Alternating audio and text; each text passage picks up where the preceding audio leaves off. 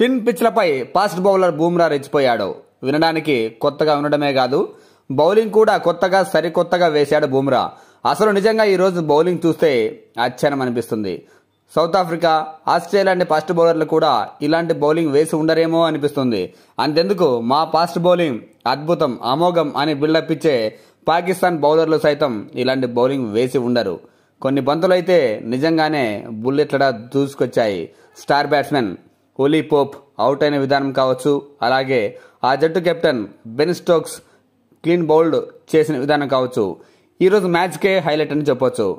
బూమ్రా ఆరు వికెట్లతో సత్తా చాడితే కుల్దీప్ కూడా మూడు వికెట్లతో రాణించడంతో రెండవ రోజే టీమిండియా రెండో టెస్టుపై పూర్తిగా పట్టు బిగించింది.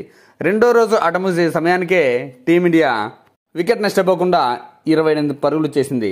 దీంతో టోటల్గా లీడ్ నూట డెబ్బై ఒక్క పరుగులతో ప్రస్తుతానికి ఉంది ఇంకా మూడు రోజులు ఆట ముగిసి ఉంది మిగిలి ఉంది కనీసం ఇంకో టూ హండ్రెడ్ చేసిన ఇంగ్లాండ్ జట్టు ఈ టెస్ట్ గెలవడం అసాధ్యం.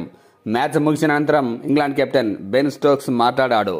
జస్ప్రీత్ బుమ్రా ఈ స్థాయిలో రెచ్చిపోతాడని నేనైతే ఊహించలేదు. భారత స్పిన్నర్లను ఎదుర్కోవడం కాస్త కష్టంగా ఉంటుందేమో అనుకున్నా కానీ మాకు ఆ అవకాశం కూడా లేకుండా బూమ్రానే పని పూర్తి చేశాడు. హలో జో రూట్ లాంటి ఎక్స్పీరియన్స్ ప్లేయర్ కూడా బూమ్రా బౌలింగ్లో ఆడలేకపోయారంటే ఇక ఏమనుకోవాలి? స్పిన్ పిచ్లపై సైతం బూమ్రా అద్భుతం చేశాడు. ఇక నేను అవుట్ అయిన విధానం అయితే మరీ షాక్ గురి చేసింది. అసలు బూమ్రా నుంచి అలాంటి బంతిని ఎక్స్పెక్ట్ చేయలేదంటూ షాకింగ్ కామెంట్స్ చేశాడు.